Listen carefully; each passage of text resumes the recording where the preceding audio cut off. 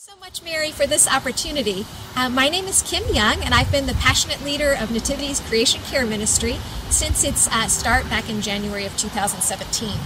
Many Catholics don't realize that uh, care for creation is one of the seven themes of Catholic social teaching. As the U.S. Conference of Catholic Bishops states, we show our respect for the Creator by our stewardship of creation. Care for the earth is not just an Earth Day slogan, it is a requirement of our faith. We are called to protect people on the planet, living our faith in relationship to all of God's creation.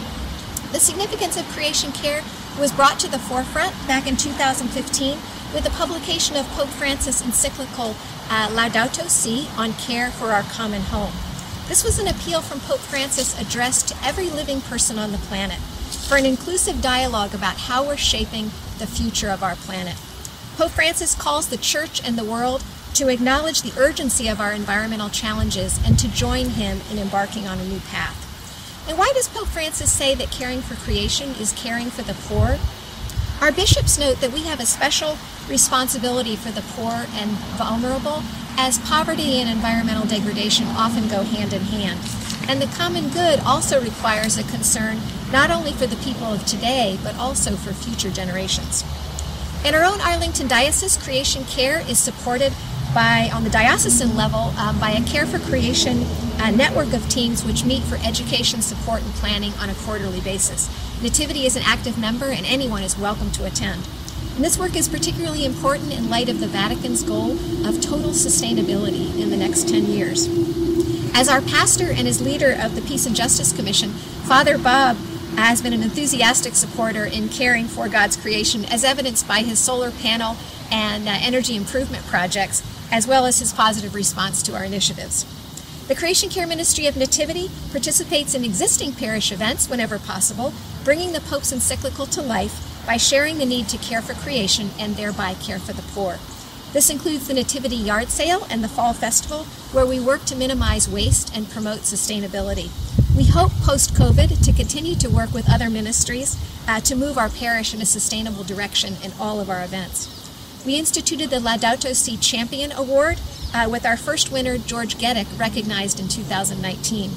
And the Nativity Cares Initiative will be using grant money to provide education to staff and to school members uh, in our church on best practices for waste management. Staff is already beginning to collect used medicine bottles for reuse uh, when needed overseas. A rewarding event that we have initiated is our Fair Trade Sale at Thanksgiving. Fair trade embodies the principles of Catholic social teaching, including care for creation, the rights of workers, and the dignity of work. Creation Care receives 10% of the proceeds of the sale to fund our projects that are not covered by grants.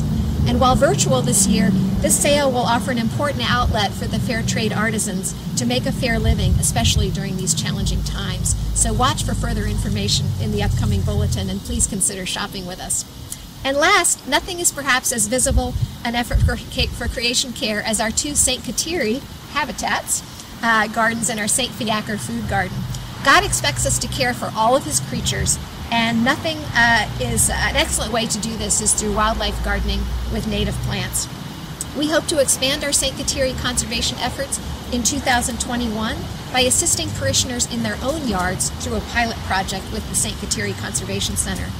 We hope you're coming to enjoy somewhat the, the more natural look of these gardens and are coming to understand the value of plants that support our local food webs.